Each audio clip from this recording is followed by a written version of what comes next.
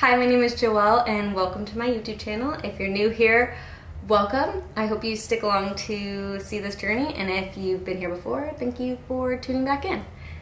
As you could tell by this video, this is how I knew I was pregnant before I got a positive test and then I'm going to do a line progression for you.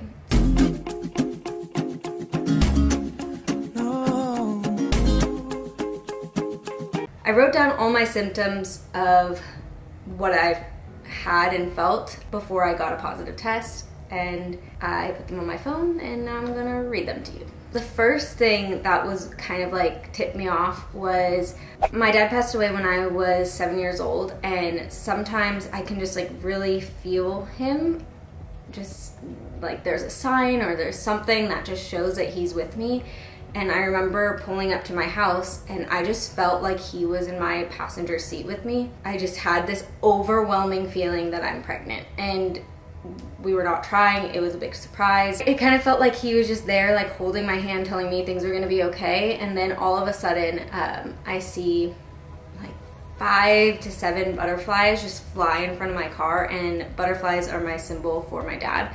So I just had like this really weird gut feeling and then that gut feeling kind of lasted and I kept taking pregnancy tests that came back negative so I was really confused because I like felt pregnant. I had really sore breasts which was unusual for me because yes it could be your period but I don't really get that with my period so that was just like it was it wasn't something that I was like oh my gosh I'm pregnant but it definitely tipped me off.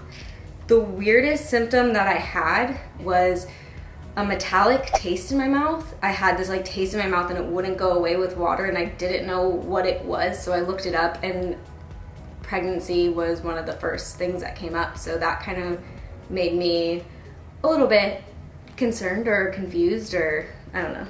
After that, cramps, which I didn't really feel was super weird and irritability, didn't really think was super weird because those are both really symptoms of periods. So I was just like, oh, my period's coming. It's not a big deal.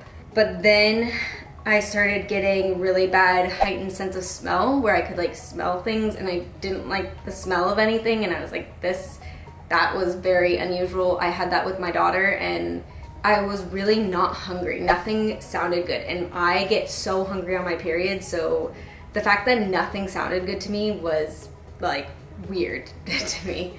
And then on top of that, I got nausea.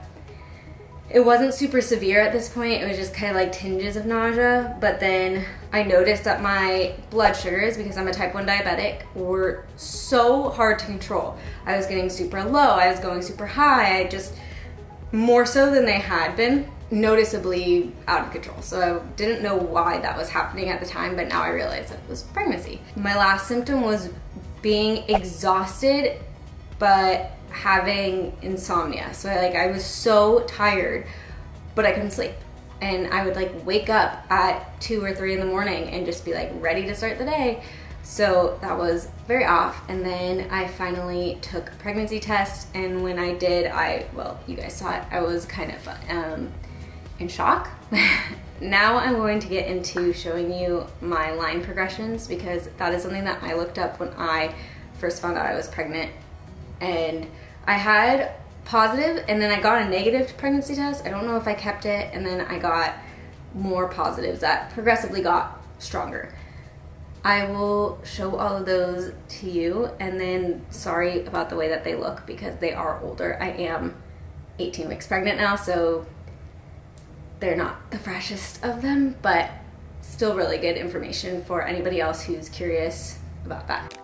So here are the pregnancy tests that I took, and then I took some other pregnancy tests as well. But the first one I took looked like this, and you can see there's a line. It's pretty faint, but I definitely knew at that point. I was like, that is definitely a line. I took another one just to be sure, but it was just like one of those cheapies, and there was a line on that one as well. I took another one the next day, and the line got a lot darker. I would say that's pretty dark. So I took another one of the cheapies just to make sure and that is how that one came out. And then on 11 days post-ovulation, I took two more cheap ones. I didn't really have more of the expensive ones, so I had to go out and buy more of those. And then on 12 days, that's what the line looked like. It started to get lighter, so I started to get a little bit concerned that I was gonna have a chemical pregnancy.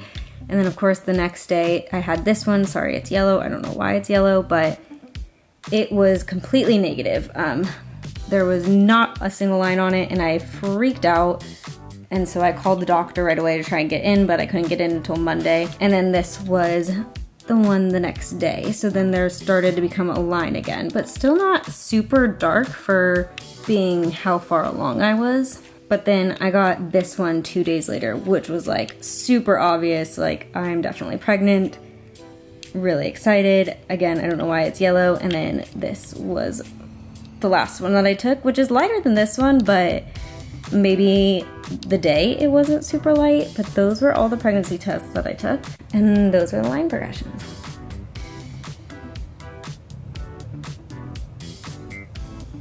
But if you want to see this really cute picture, it is on my Instagram right now.